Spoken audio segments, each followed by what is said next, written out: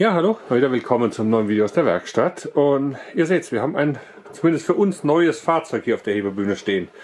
Und so haben wir hier einen Rexy 50 von 1996. Und man sieht, der Roller ist sehr, sehr dreckig, sehr, sehr eingestaubt. Und der Grund dafür ist, das ist ein echter Scheunenfund. Meine Werkstatt hier befindet sich ja in einer historischen Scheune auf einem landwirtschaftlichen Anwesen. Und dieser Roller stammt auch von hier. Das ist nämlich ein Fahrzeug, das meinem Vermieter gehört.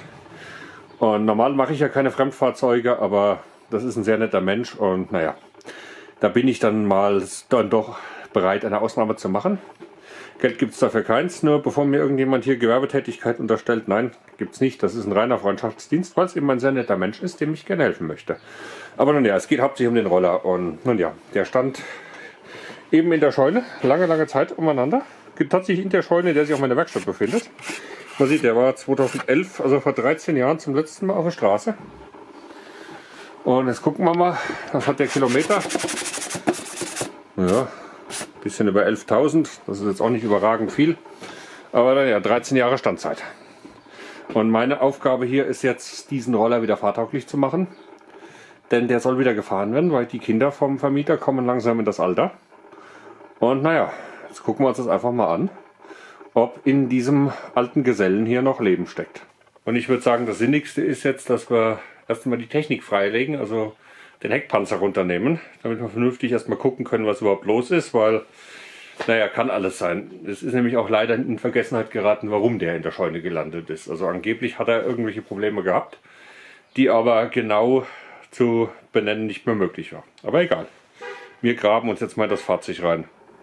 Gut, jetzt haben wir das Heck mal so weit auseinander. Und mir sind jetzt beim Zerlegen ein paar Sachen aufgefallen. Zum einen mal abziehen davon, dass der furchtbar dreckig ist. Der scheint trocken gestanden zu haben. Mal hier irgendwelche Ästchen vom letzten Weihnachtsbaum. Und es ist nichts zusammengerostet gewesen bisher. Außerdem hat der allem Anschein nach nicht einen Tropfen Treibstoff im Tank, was gut ist. Batterie ist raus, ich meine, die Batterie ist tot. Das ist ja bei denen die Besonderheit, die haben ja hier die Batterie liegend, hier unterm rechten Seitenteil über dem Auspuff, was na, sagen wir mal, eine etwas fragwürdige Entscheidung ist. Aber nun, ist halt so. Ansonsten sieht das alles relativ ordentlich aus, also was man jetzt hier sieht. Gut, ich meine, das ist hier alles völlig verölt, wie der Ansaugstutzen ausschaut. Nun ja, gut, der ist steinhart, der Ansaugstutzen. Also da werden wir auf jeden Fall neu brauchen. Was ich jetzt als nächstes noch machen werde, ist das Trittbrett abnehmen, damit wir vernünftig an den Zylinderkopf rankommen. Und dann werden wir mal die Zündkerze rausnehmen und uns die mal angucken, dass wir ungefähr abschätzen können, wie der Motor innen ist, ob sich da Innenrost gebildet hat. Da der scheinbar trocken stand, glaube, schrägstrich hoffe ich es nicht. Das schaut relativ gut aus. Ist kein Rost am Gewinde. Elektrode schön braun, so wie es sein sollte. Und was das für eine Kerze ist. Das ist eine General Motors Zündkerze. General Motors 805, was auch immer das sein mag. Da machen wir dann sicherheitshalber mal die Kerze rein, die da tatsächlich in den Roller gehört. Und naja gut, zum Testen, ob man Zündfunken haben, taugt die hier schon mal. Ich habe ihm jetzt mal einen kräftigen Schluck Öl in die Zündkerzenbohrung gegeben. Schauen wir mal, jetzt drehen wir ihn mal um. Ich habe noch nicht versucht, ob der umgeht. Oh, oh, okay, der Kickstarter, das ist aber der Kickstarter, der klemmt. Der Motor an sich geht aber um und schön leicht. Und er scheint noch Kompression zu haben, soweit man das jetzt ohne Zündkerze beurteilen kann. Jetzt wollen wir mal eine funktionierende Batterie anschließen. Wir gucken jetzt einfach mal, ob die Elektrik tut. Der Motor an sich scheint ja so schlecht nicht zu sein. Gut, eine Batterie ist dran. Schauen wir mal den Tacho frei, dass wir die Kontrolllampen sehen. So, schauen wir mal die Zündung ein. Hören wir mal, einfach mal alles durch. Machen wir mal mit den Blinkern an. Okay, Blinker rechts geht. Der linke scheint auch zu gehen. Schauen wir mal, Bremslicht. Bremslicht geht. Beim rechten Hebel zumindest. Schauen wir mal mit dem linken Hebel. Geht's auch, also elektrisch. Sind wir mal ganz mutig und versuchen mal den Starter. Ne, der E-Starter geht auch. Lassen wir mal mit dem Elektrostarter ein bisschen drehen, dass er das Öl, was ich ihm reingegeben habe, gut verteilt.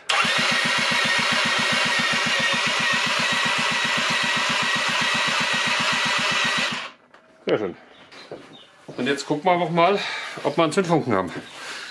Machen wir hier unsere General Motors Zündkerze mal hier auf den Rahmen. Zündung an. Versuchen wir es mal.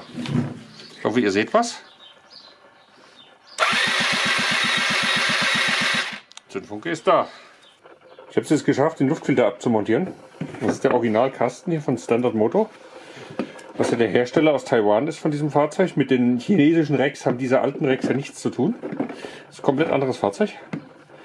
Äh, die Schwierigkeit hier war jetzt dieser Gummi hier. Der ist derartig hart. Seht ihr, der hat sogar die Form beibehalten, die ich noch biegen muss, um ihn abzuziehen. Aber wenn wir jetzt mal in den Vergaserkelch reingucken, mal anpacken, ist es im Vergaser erstaunlich sauber, wenn man bedenkt, wie der außen aussieht. Und deswegen würde ich sagen, wir machen jetzt einfach mal ganz wüst. Wir probieren es jetzt einfach mal. Ich habe jetzt die korrekte Zündkerze drin, eine NGK B8ES. So 8, 8 der Wärmegrad kurzes Gewinde. Wir versuchen jetzt einfach mal, ob der anspringt. Jetzt mit Starthilfemittel, weil einen kurzen Rucker tut. Mehr können wir auch heute von ihm wahrscheinlich nicht verlangen. Zumindest jetzt im ersten Versuch. An. Geben wir immer mal einen Schluck von dem Zeug und jetzt versuchen wir es einfach mal.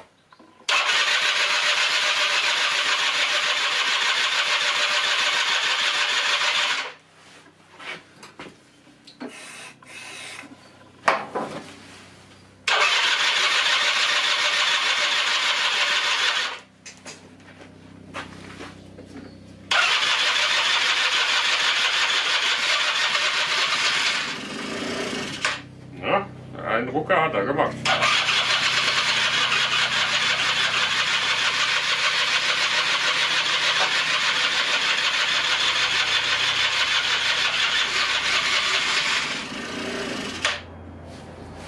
Ja, noch einmal.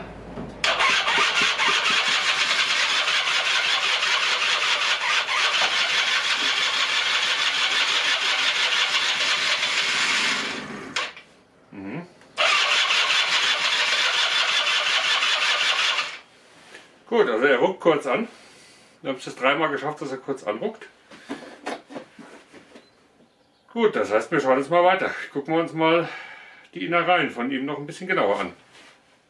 Ich habe jetzt mal den Vergaser abgebaut, was auch nochmal ein Kampf war, weil auch der Ansaugstutzen ist knochenhart. Also Ansaugstutzen brauchen wir auf jeden Fall auch einen neuen. Hier ist jetzt auch irgendein Metallteil. Das sieht auch nicht so gut aus. Da müssen wir mal gucken, was das ist. Ob das zum Fahrzeug gehört, aber ich glaube eher, dass das hier vom, äh, von der Schelle hier am Ansaugstutzen kommt, die sich praktisch nicht mehr bewegen lässt. Wollen wir mal gucken. Schauen wir mal. Jetzt versuchen wir es mal ohne den Vergaser. Ob er einen Hochdreher macht. Schauen wir mal.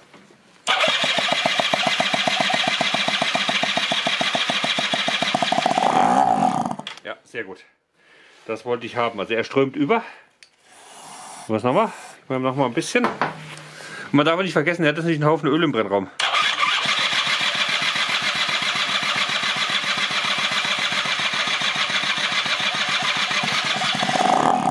Ja, also das funktioniert. Also der Motor an sich ist in Ordnung.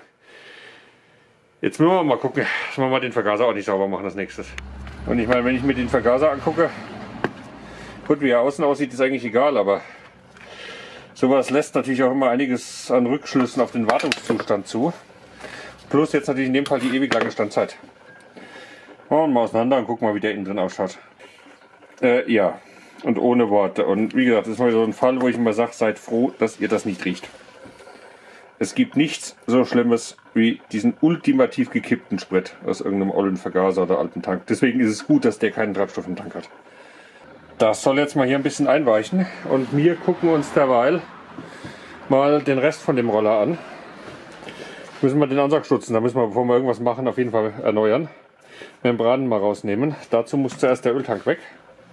Und naja, wenn wir dann schon so tief reingraben, die Ölpumpe soll eh rausfliegen. Da habe ich ja mit dem Besitzer schon drüber geredet. Das äh, ist sicherer bei diesen Fahrzeugen, wenn wir jetzt die Ölpumpe entfernen. Und das heißt, wir müssen auch hier die, die Kühllufthaube abnehmen. Und naja gut, das machen wir jetzt als nächstes Mal. Also erstmal den Öltank weg.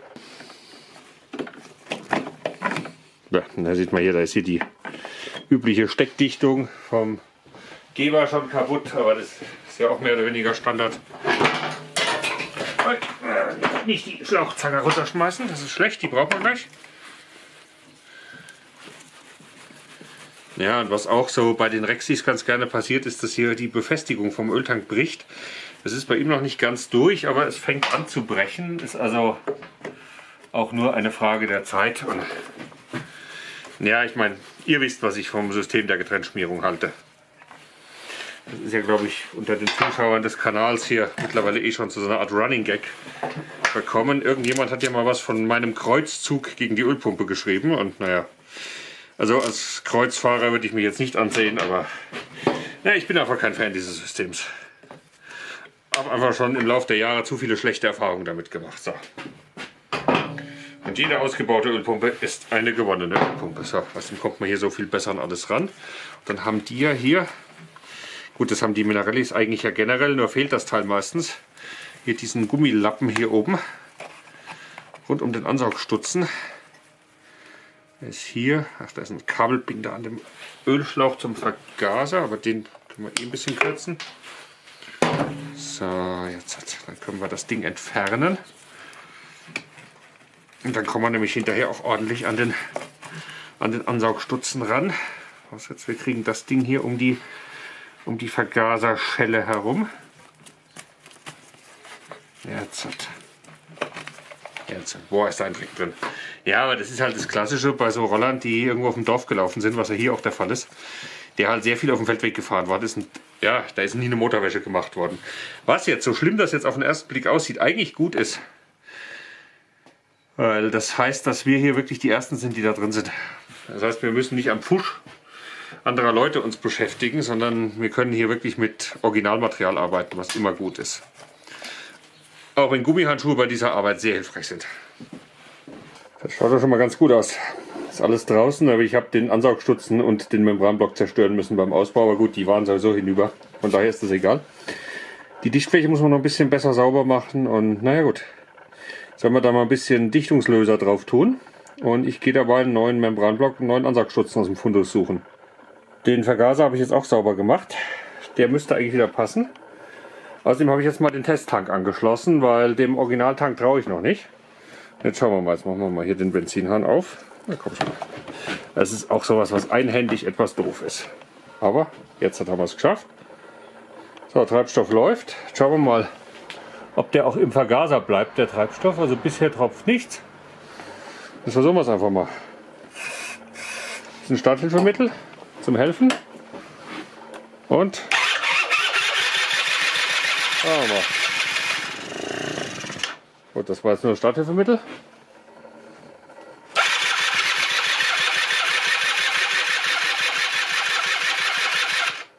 Mal probieren mit der Kamera auf dem Stativ. Wenn ich beide Hände frei habe, geht es einfacher.